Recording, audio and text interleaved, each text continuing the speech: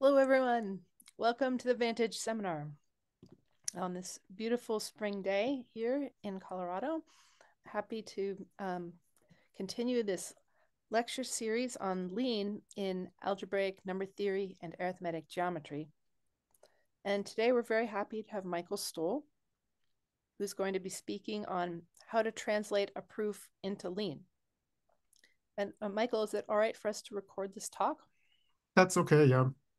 Wonderful. And if you have questions, feel free to ask them. Okay, please go ahead. Yeah, so welcome everybody. Um, so yeah, I thought it would be perhaps nice to see how we actually can do a proof in Lean um, in a reasonably simple example. And um, so the starting point is this math overflow question for two years, from two years ago. So it asks whether a certain um, differential equation is solvable in integers. And I mean, it's an interesting question because if, if you look at it, it's a conic bundle surface and it has a double cover, which is rational. So there are lots of rational points on this. Um, but the question regarding integer points is a bit more subtle. And um, yeah, so back then I um, an argument that shows that there's no solution, which basically uses quadratic reciprocity. So, I mean, here's, here's an overview. And um, so, yeah, the idea that I had was to try to show how to translate this proof into Lean. But it turns out that this is too much for one hour. So we will focus on um, one part of it. But maybe just to explain this a little bit. Um, so it's starts with the observation. Um, so, I mean, the equation is not here, but it's x, y times x plus y is 7 z squared plus 1. That uh, x and y cannot both be negative because then the left-hand side will be negative, but the right-hand side is clearly positive. And if they're integers, they cannot be divisible by 7 because um, on the left you have x times y times something, and on the right you have 7 times something plus 1. And then, yeah, we break the symmetry and assume that x is positive, call it A, and then one can sort of rearrange the equation, introducing new variables, capital X and capital Y, to bring it in this form. And um, then this is a form where you can work with, say, Jacobi symbols to say something. Um, that basically says that this thing on the right, a times 4 plus a cubed, is a norm from the extension q root squared of q squared of 7 times a. Um, and so, yeah, I mean, one has to distinguish cases according to whether a is odd or even. And in the odd case, um, these factors are both odd on the right-hand side. And so one can look at this Jacobi symbol where you take 7a upstairs and 4 plus a cubed downstairs, and then use quadratic reciprocity so um, depending on what A is not 4, one of these two numbers is congruent to 1, and the other one is congruent to 3 mod 4. So that's always 1 that's congruent to 1. So you can just turn it around and then um, split it into the product. Where the second, so this symbol is always 1 because 4 plus a cubed is a square mod a, just 4 mod a. And um, so you end up with this symbol. And then there's a kind of miracle here because if a is an integer that's not divisible by 7, then um, 4 plus a cubed has only two possibilities, not 7, it's 3 or 5, and both are non-squares. And so the symbol is minus 1. Um, and then, so the, then comes the part of the argument that we will try to formalize. Um, so this part here basically, so by the definition of the Jacobi symbol, um, as a product of Legendre symbols, this means that there must be some, um, so I mean, looking at the left symbol here, there must be some prime divisor of 4 plus a cubed, an odd prime divisor because this is odd. Um, it has an odd exponent in the prime factorization with the property that 7a is a non-square mod p. And then um, one can use this to, to get a contradiction with this equation here um, because so we have P to an odd order here. P does not divide A because these two are co-prime. but if 7A is not a square mod P, then P must divide the left-hand side to, to an even power. And so this gives a contradiction. And then you can do something similar when A is even, um, which I maybe will not go into detail now here. Um, yeah, so if you have any questions later, then just interrupt and ask. So now, yeah, we want to, to formalize this part of the proof. And so I've prepared this here. So this is um, this Lean Life Lang org website There you can just play with Lean. Um, so the first line says import mathlib. So I'm importing the whole mathematical library of, of Lean, which is of course way more than they actually need, but um, there's basically no penalty doing that. So we can just do it.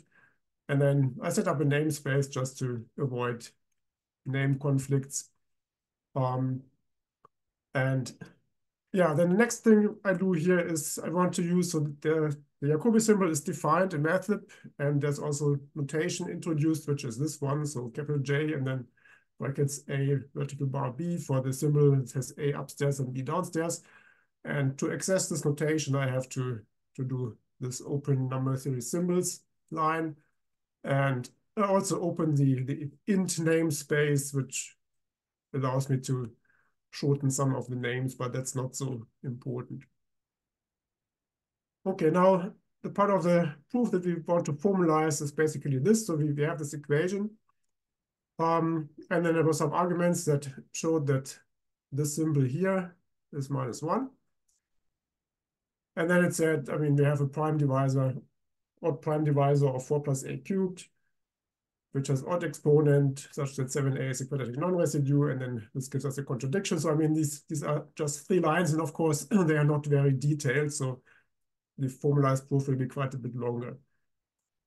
Um, yeah, so it's it's a generally good idea to, so if you need some kind of auxiliary statement to formalize um, these statements um, in a generated level of generality that may be useful in other contexts. So, and also usually if um, things are not too specific, it's easier to do the formal proof. So here we will sort of abstract from the specific form of these two or three terms that show up here. So we have the seven times a, which we just replace by, by variable d. And then we have a times some other factor, and we, we just call the other factor b. And then if you remember, one part of the argument said, so you have this odd prime divisor of 4 plus a cubed that has an odd power in the prime factorization, which implies that p does not divide a. Um, and so what we use here is that 4 plus a cubed and, and a are co-prime. Yeah, so remember that a was odd in, in this part of the proof. So, I mean, GCD divides four, and if these numbers are odd, then it has to be one. So basically the, the statement you then get is the following. We have this equality, which now is of this more simple form. So x squared minus d times y squared equals a times b. Um, we assume that a and b are co-prime. That's this part here. And well, a, b, d, x, and y are morally integers, but well, we also have the, the assumption that the Jacobi symbol, so which is Jacobi symbol of D and B now with our conventions here is, is minus one. And um, because the Jacobi symbol method is defined in such a way that the first argument is an integer and the second argument is a natural number, um, it's more convenient to take B as a natural number here, but the other four variables can be integers.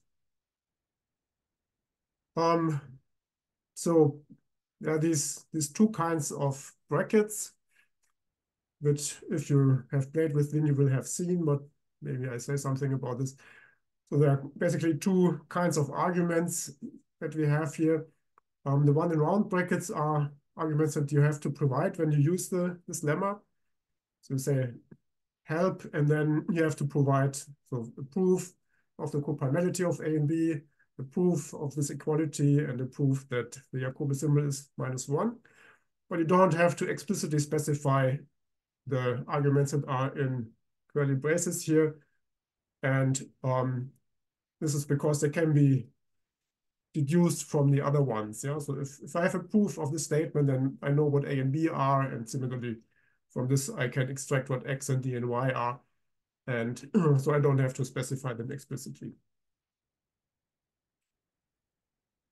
Okay, so yeah, I mean, what does it say? We have these, these numbers, and then we have these three properties, and um, they want a contradiction. So false is the statement that's never true. So um, these three things lead to a contradiction. Okay, then um, we start the proof by this keyword by. Um, and oops, so then we have this so-called goal state on the right that tells us where we at are the proof at the, in the proof. So we have this natural number b and these integers a, d, x, and y, and then we have these three assumptions. And the last line is this strange symbol here tells us tells us what the goal is. So we, we want to prove false.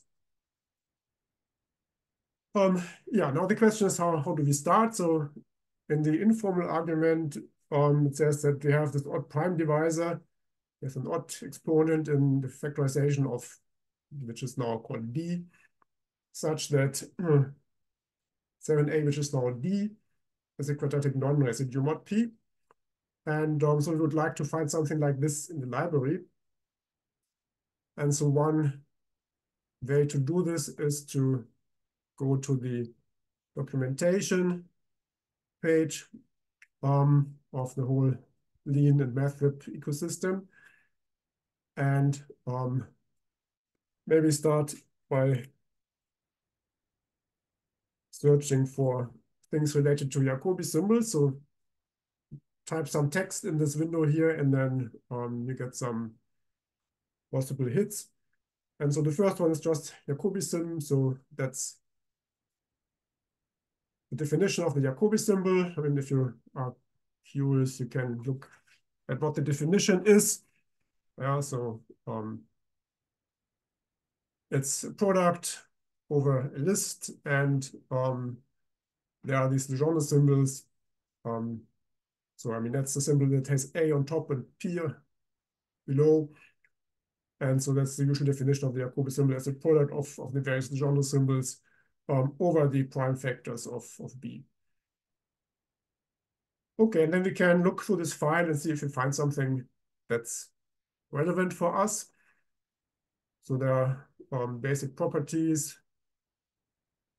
For example, it's multiplicative on the right and on the left. Um, and it's one or minus one if it's not zero and, and things like that. Um, and then at some point, we find this, which says there's a prime. So there's a natural number p, which is a prime that divides n, where the assumption is that this Jacobi symbol that has a on top and n below is minus one, and such that the Jacobi symbol of a and p, which is the Legendre symbol, is minus one, which is at least close to what we want. And so we can just try to use that and see how far we get. So I'll just copy this and um, because I can't remember what the precise statement is, I will just, for the time being, say have colon equals this. Um, so this gives me an error message, which is maybe a little bit unclear what it means, but um, so what we can do, we can hover on this and then this window shows us what the definition is. So, I mean, we need to give it this h, which is the statement that some Jacobi symbol is minus one. And so we have such a statement here. This is this hj. And when we do that, then the error message goes away. So the problem is that there are some implicit arguments here. And if you, so this the a and the n, and if you don't tell this um, theorem what H is, then it cannot figure out what A and N are. And so that it was complaining about this. So we can apply to Hj and then um, we get a new line in, in this um, tactic state. We have this, this new assumption, which is the statement. I mean, there's a prime P that divides B now and such that the Jacobi symbol of D and P is minus one. And of course, we want to, to work with this. And so we have to um, take the statement apart. Yeah? So we want, we want this prime P and um, its properties. And so the, the way of doing this, so there's a tactic. Um, I mean, tactics are these things that allow you to, to build a proof step by step. Um, so this is called obtain, and so we can just um, take this statement, which has four parts. Yeah, the first part is the prime p, and then um, its properties was so the properties were given as a conjunction of three things, and um, with this obtain and then these angle angle brackets, I can sort of deconstruct the whole thing and get the, the three properties as separate statements. So you see here, we now have a natural number p, and then these three properties, it's a prime, it divides b, and the symbol is minus one. Okay. Now, um, what can we do with this? So we know that p divides b. b is a factor here, so p will also divide um, the thing on the left, this difference. But d is a non-square mod p. That's, this is what this says. And so um, we know that this is only possible if p divides x and y, because otherwise we could basically divide by one of them and we could get a square root of d modulo p. So we should look for, for some statement that um, says this. So if they have this symbol that's minus one and p divides the term of the form x squared minus dy squared, then p should divide x and y. And so they go back to the documentation um, and um, look a bit further. And then here we see something that says that p divides x and p divides y. So which is pretty much what we want here. So the, the assumption is that the symbol is minus one. p divides this difference and then it follows that p divides x and p divides y. So let's take this and um, the same. I mean, we get the same kind of error, but um, looking at this, we see that we need to give it um, proof of the statement that the symbol is minus one. So this is HPJ. Um, okay, now we get a different error message, which says fail to synthesize instance fact, not prime P. So that's a kind of technical thing here. Um, if you look at this, then it has this argument in square brackets that says fact that it's a fact that P is a prime, basically. And I mean, these square brackets are related to this type class system. So there's a kind of a database of um, things that Lean keeps.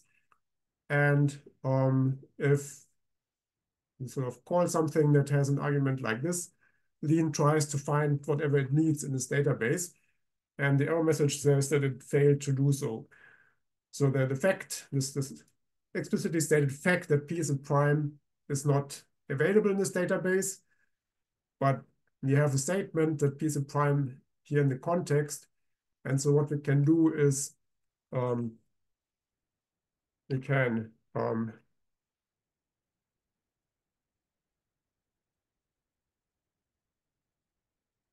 we can sort of add this fact to our context so that the next statement can find it. And um, so that's some, some kind of structure here, this fact.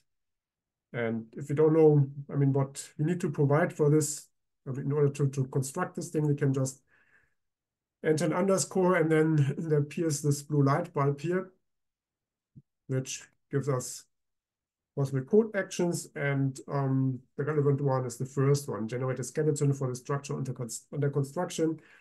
So this will tell us that we need to provide input for so this, this one field that's called out of the structure. And what goes in there is just, just a proof of this fact. And so that's what we call HPP. Um, and then, I mean, because it's, it's short, we can just put it on one line. So now um, the error message, the previous error message is gone, but we get another one. I mean, this is the error message that basically says that um, it was not able to work out all the implicit arguments. Um, and so what we also need to give it is this equation. So this is necessary to figure out what um, what x and y are. And so we just do that, which is, this is HEQ. Um, ah, so I made a mistake here. So it complains that it, this is not the correct type, and the mistake is that um, okay, no. Um, sorry, what we need is that P divides this. And so we just have this equality and we still have to, to prove that P divides the left-hand side. So um, let's leave that for now. And first, and then I just comment it out so that we don't get errors here. Um, prove that P actually divides this, this thing. So we have to, so there, there's a slight subtlety here. Um, there's this vertical bar here, which is just, just the usual vertical bar on your keyboard. But this vertical bar here is the division, the, the divisibility symbol, and um, that looks very similar, but it's a different Unicode symbol. And so to get it, you have to do something like typing backslash MID as you probably are um, accustomed to from LaTeX. And then um, oops, you want P to divide this. So here, so previously I, I just um, have provided immediately a proof of what I wanted to to have, but here I just give the statement and then I have to provide the proof.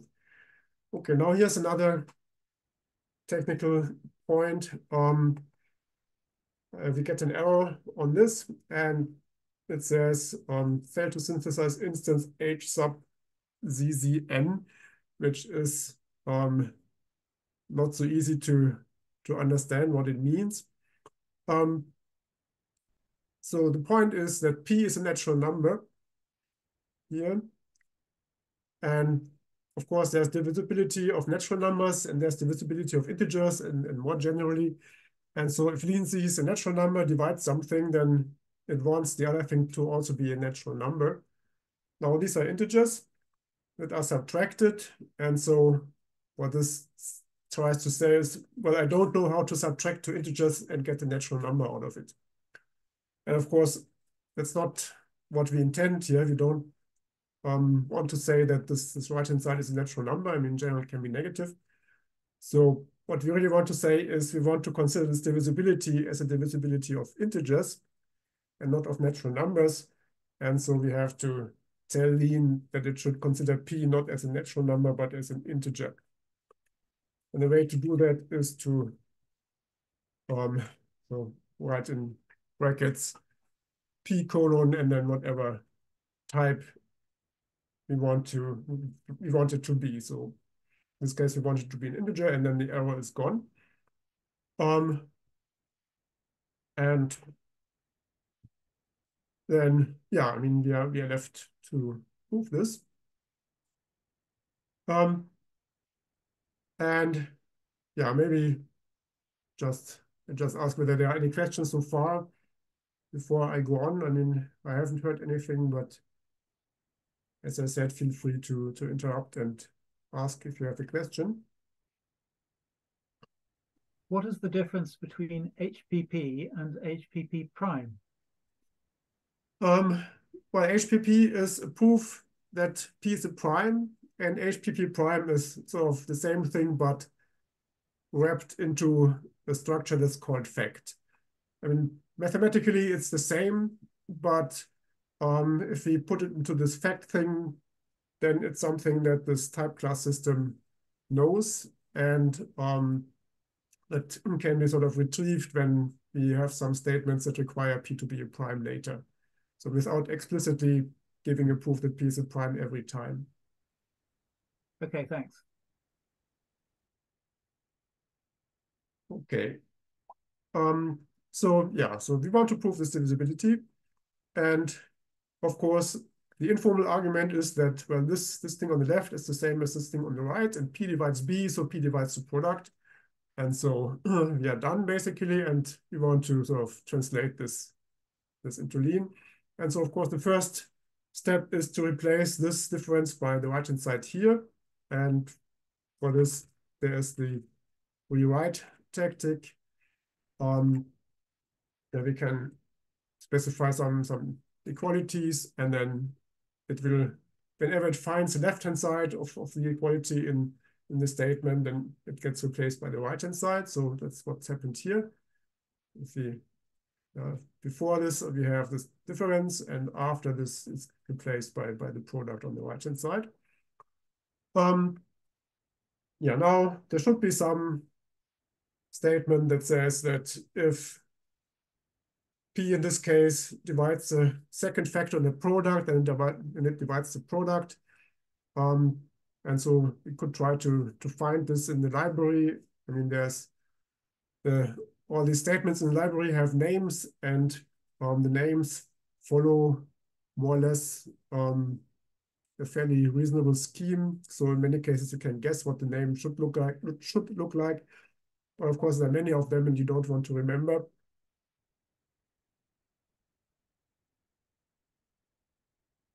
so there are some tools one can try to use that sort of search for suitable things in the library. And so the thing that one can use here is called apply question mark. I should say that as of now, it doesn't work perfectly well, but this will change soon. Um, so this takes a while because it has to do a search and then it suggests various things, um, which in the state it's it's in right now um, looks a bit scary because there there's a lot of unnecessary unnecessary stuff here. But essentially, we can just look at the last line here. So that's um, so it recommends some kind of tactic, so which basically partially applies some statement and then it leaves some some other goal we have to prove. And so what we want to, to have left here is basically P divides B. So here, is not helpful to place it the right-hand side by its absolute value. Um, so this considers the thing modulo P basically, and then it should be zero. So there are various things that one could do, um, and not all of them are necessarily useful here. But here we have something that gets close. So here we have to prove that P divides A, which is not the case, but we can hope that we find something with B also, and that's here. So we can then just click on this suggestion here, try this, blah, blah, blah. And I should warn you that there will be an error message because of this problem. And what we have to do right now is to just remove this strange looking part here and just leave this. So, I mean, there's a fix already in, I think, Lean, and it will be in MathLib as soon as MathLib gets bumped to the next Lean version. Um, okay, so there, there's, so it came up with this statement, which, I mean, looks um, like it maybe maybe useful here. So DVD, DVD is, is the division, the divisibility thing, and then while left um, has to do with the product and um, well, whether it's left or right is not always so clear, but if you look at it, it says that if you have two elements in a suitable structure, so commutative semigroup, and um, the first divides the second and you have a third element, then the first also divides the second if you multiply it on the left by the third one, which is exactly what we need here. And then um, this question mark underscore is the so-called hole. Um, so this is something that we have to fill in. Um, and this is the, the proof of, of this divisibility statement here. And the A is what is called C here. Yeah, it's, it's the factor on the left. So now we have to prove that P divides B.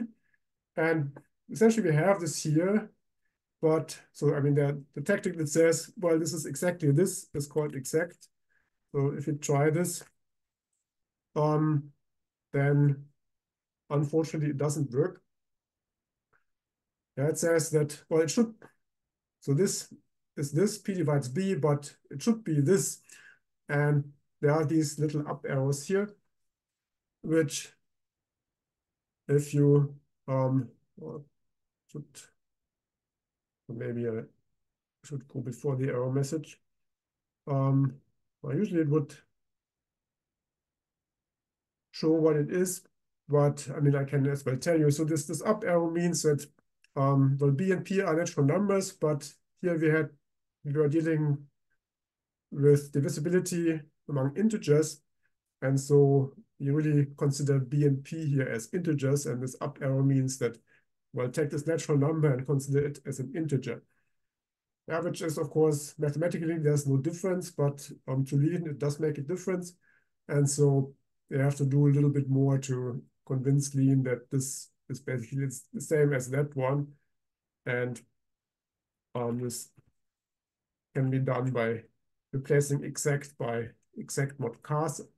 So these these up arrows, the what what they do is called casting, and also modulo casting. This is exactly this HPB.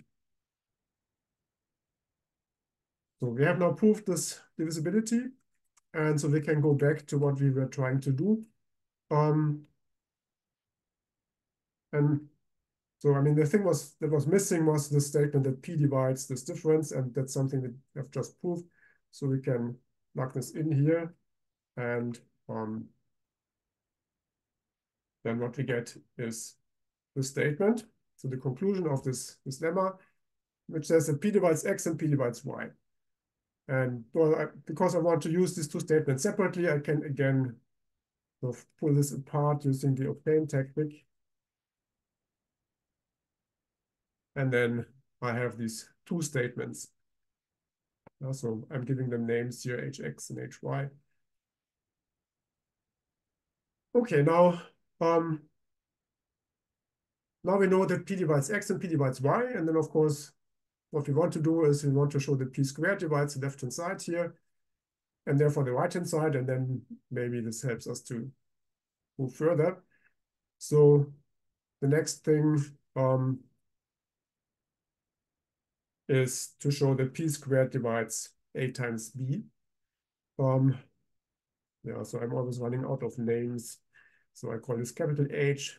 So H is um, very common in this context for hypothesis. And yeah, so the thing I want is that p squared divides a times b, and I will get the same, let's say. So sorry, just closes the proof. Um, we have the same problem as before that Lean thinks this is a divisibility of natural numbers. So now it, um, well, the error message is a bit different. So it sees that the right-hand side here is an integer and it tries to um, find something that tells it how to take a power of a natural number to a natural exponent and get an integer out of it. But we can remedy this in the same way as before by declaring that we want to consider p squared as an integer and not as a natural, uh, not as a natural number. Okay, so yeah, the argument is, of course, we have this equation HEQ. Um, we want to show that p squared divides the right-hand side, so it's the same as showing that p squared divides the left-hand side, and this follows from these two things. So we again want to replace, but now we want to replace the right-hand side by the left-hand side. And um, so we want to do the rewrite backwards. And this can be done um, by using this left arrow. Yeah, and you see that instead of a times b, we now have this difference. Um, and yeah, then of course, I mean, there, there will be statements in the library that tell us that if p squared divides two things and it divides the difference and so on, um, then we can just try to find them using apply again. So let's see if this works.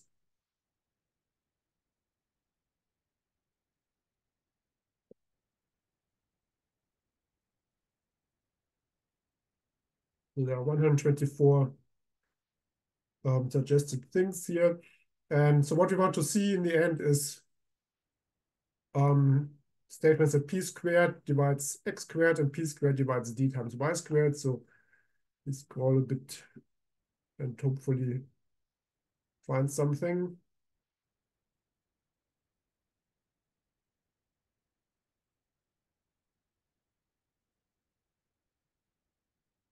Okay, so here we have p squared divides x squared, p squared divides d times y squared, and um, the thing is called DVD for divides sub right, so subtraction. Um, not sure where the right comes from because I mean just takes two things that are divide divisible by whatever, and then the difference is. Um, so I don't think there's something. Oh, here's another one. So maybe that's a little, little bit, well, I don't know if it makes a difference. So it's DVD, DVD sub, which just means that divisibility is compatible with subtraction. So we use this, and again, we replace these things just by these holes. Um, and now, because we have two of these, we now have two goals. Yeah, one is that p squared divides x squared, and the other one is that p squared divides d times y squared. And then um, it's good to structure the proof by focusing on one goal at a time, which can be done by putting these center dots, which you just get by typing a backslash and a dot. And then you see in after these, we, we only have one goal, the first one is p squared divides x squared, and the second one is p squared divides dy squared. Um, and yeah, so now we know that p divides x. Then, I mean, obviously it follows that p squared divides x squared. And so there should be something that gives this immediately in the library. Um, and we could try apply, but you can also try exact question mark um, which tries to find an exact proof without any holes in it. And it's very quick and says that this is this. So yeah, the statement says what you expect. So if A divides B and N is a natural number, then A to the N divides B to the N. So for the for the other one, I mean, we could just try, but um, if, if this if there's a kind of just one lemma in the library that does it, but as you can see, it takes a while and then it gives up. Um, so it's sort of one step too complicated, so we, we go back to apply. And I mean, it's similar as before. So we, we have a product. We know that p squared divides the right-hand side, and so um, p squared divides the product. So we could just use the same thing as before, but I'm too lazy to do that. Um, so I, of course, I still have to scroll through all these possibilities to find the right one. Um, p squared divides d is not, but p squared divides y squared is the one we want.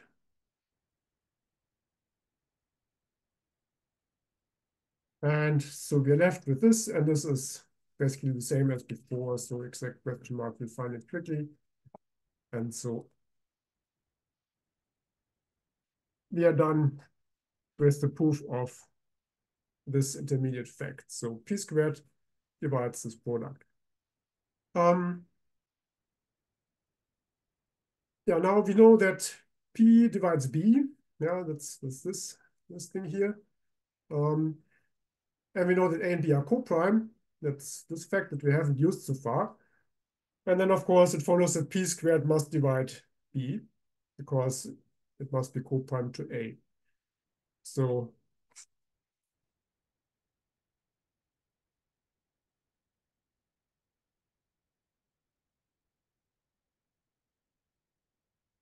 um, there we should be able to deduce this.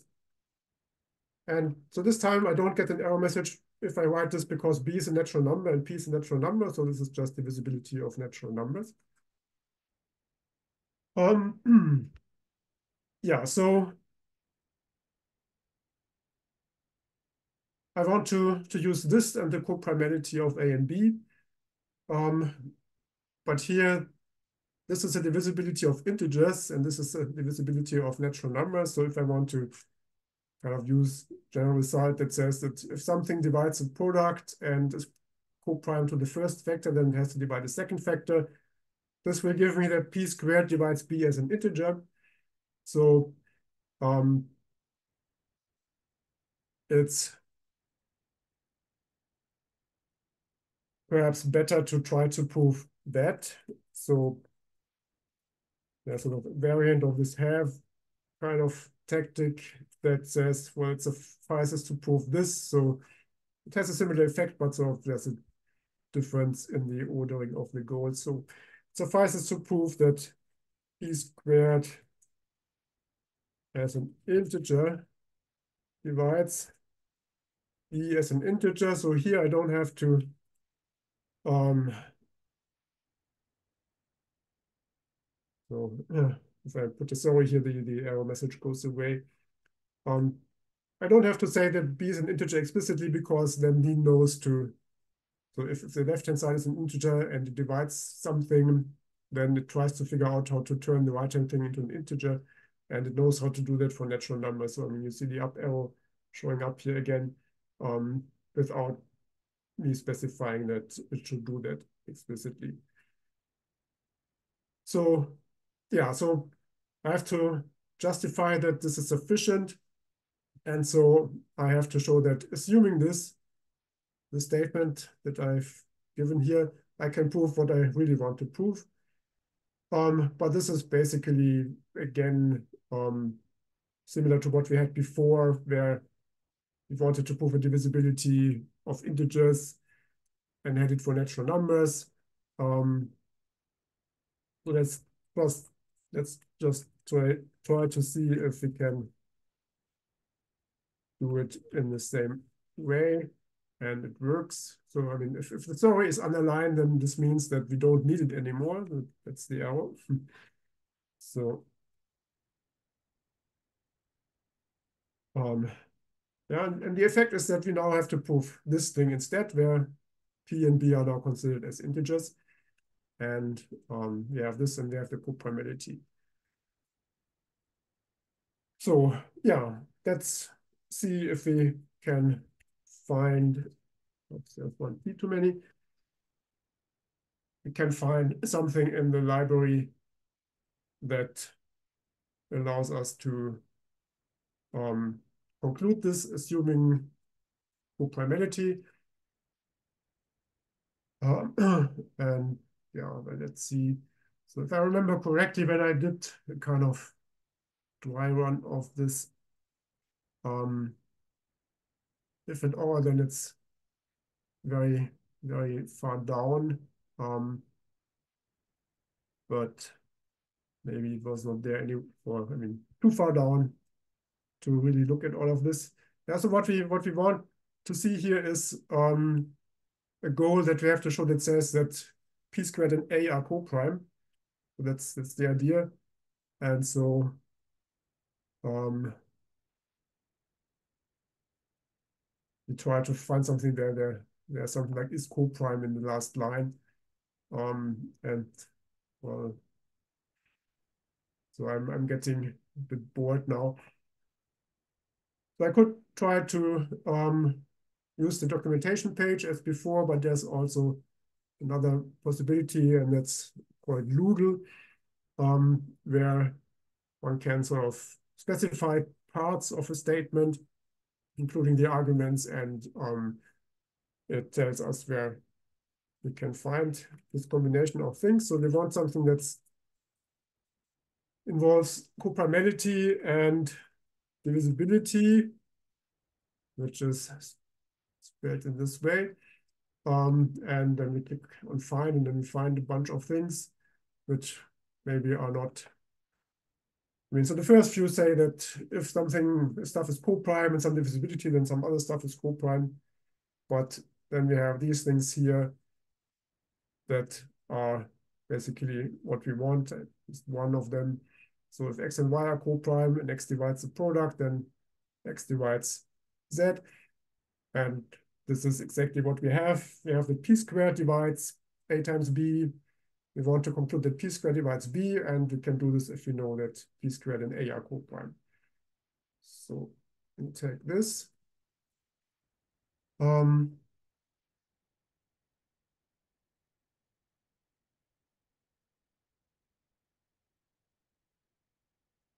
Um, and then, so what's the first argument? This is the one we want to supply. And the second one is what we know, which is H.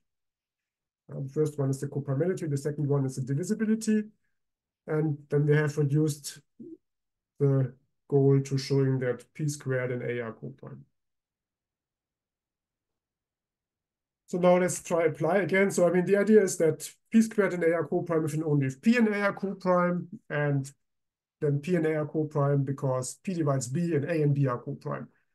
So we want some further properties of coprimality, and we hope that maybe apply finds this. And the first one is basically already what we want. Um, so we are reduced to showing that P and A are coprime.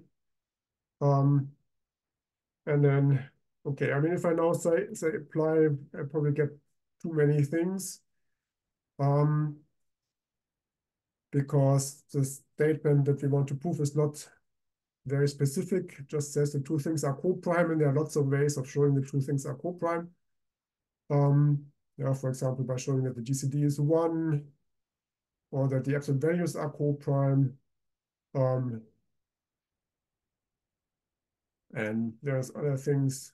Well, so that's something like with the Fermat equation, 2 to 4, so 4 for 2, which is certainly not useful for us. So maybe it does make much sense to look at, at, this long list. And we can go back to, to the search we had before, which um, basically also lists, I mean, this lists things that have to do with coprimality and divisibility. And of course, that's what we want here. So we want to show that P and A are coprime. We know that A and B are coprime and that P divides B. So let's see um, which version. So that's close, but they have to switch the, let's see, um, ah, okay, this is the one. So Z is P, Y is B, uh, no, is A. Um, no, sorry, P is B, X is A, so, ah, which way around? Um, so we know that P divides B, so Y should be B, and um, A and B are coprime and P divides B, then a and P are co-prime. So that's almost what we want up to the ordering. So let's try this. So maybe I just um, do it in a similar way as before. So what we have is we have the coprimality, which is HAB, and we have the divisibility, which is, well,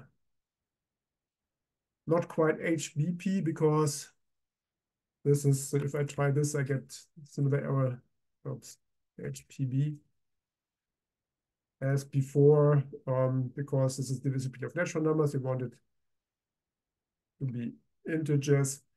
Um, so maybe let's just state this as a divisibility of integers. Oops. With the German keyboard, so the backslash is not so easy to reach. Um,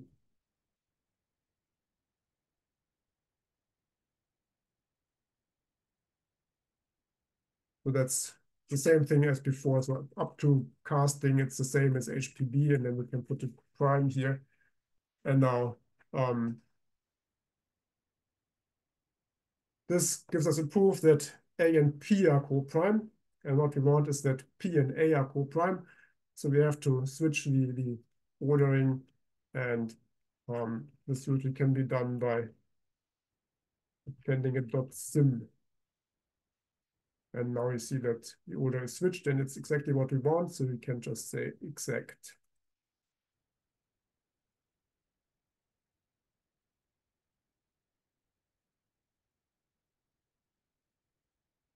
Okay, now what did we do? We have found a prime P that divides B, but we now have shown that not only P divides B, but P squared divides B. And so, yeah, now the idea is um, we can divide the equation by P squared. So we can divide B by P squared and X by P and Y by P. And then we have the same situation again, only that B is smaller. And um, so we want to do basically induction on B. Um, and I mean, uh, not the, the usual induction, they go by one step each time, but the kind of strong induction where you assume that the statement holds for all smaller numbers, and then we, we want to prove it for your given number. And so um, there's a tactic for this that's called induction or induction prime, which is usually a little bit easier to use.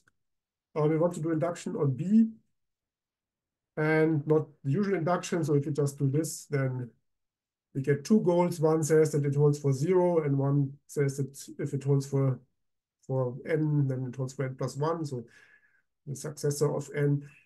But that's not useful here. So we can it to use a different induction principle and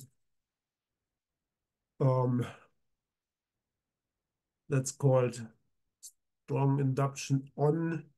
Um, and so you see that we just have one goal, which says that if the statement holds for all smaller numbers, then it holds for the number that we consider. Um, and well, here there are some, some strange names. So name for the natural number for which we want to prove the, the statement, and the name for the induction hypothesis. And so we want to, to give them um, names that we can use later. So if I say with B and IH, then B will be the name for the natural number, which is, I mean, nice because it's called B here also, and IH is the induction hypothesis, which is the statement. Yeah, so if for all um, for all smaller numbers, if the conditions are satisfied, then we have a contradiction. And so, of course, in the end, you want to apply this with, um, with b divided by p squared. Okay, now, um, yeah, so I guess we are running a little bit short on time. So what we have to do now is um, we have to set up the situation with a smaller b so let me see. I mean, I have a kind of cheat sheet here. Um,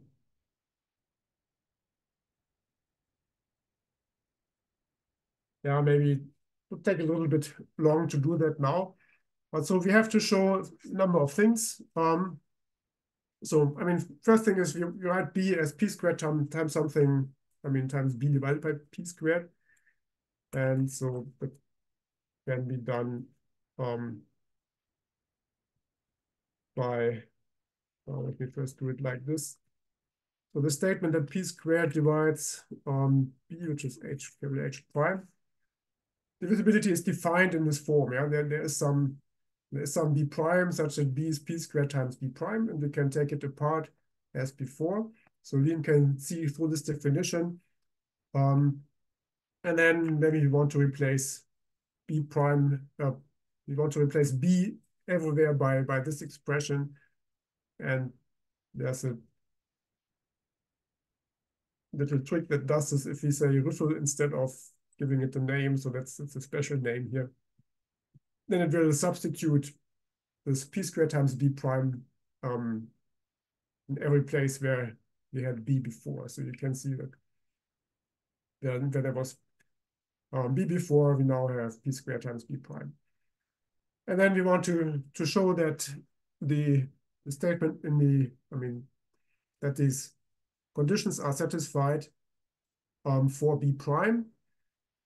So we have to prove a number of things. So we need to prove that P prime is less than P squared times B prime, which is our old B. We need to prove that um,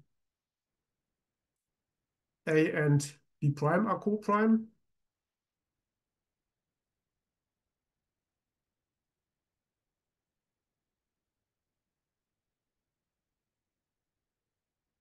Um, we have we have to show that we have this um, relation, and now we have a problem because these are the same x and y as before, and of course we don't have the relation with the same x and y.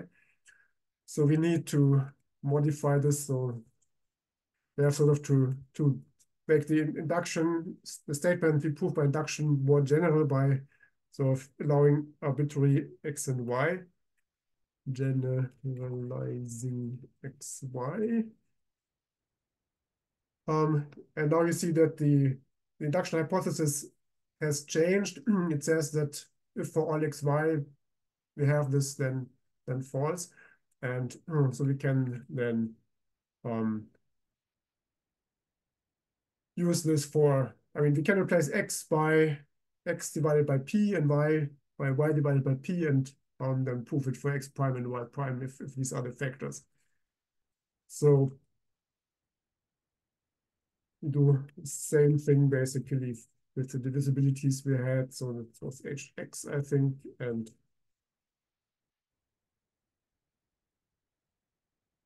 and hy. Um, So now our original equation is down here, looks like this, and then we have to divide both sides by p squared. So we will get something that, maybe um, will be x prime squared minus d times y prime squared equals a times b prime. And then um, you also need to show that the Jacobi symbol of B and B prime is minus one. And I mean, all of these can be done, but take some time. And so finally, assuming we, we did all this, now we can apply the induction hypothesis. So let me write it as refine um, IH applied to something. So we need, we want B prime. Um, let's see how many we need.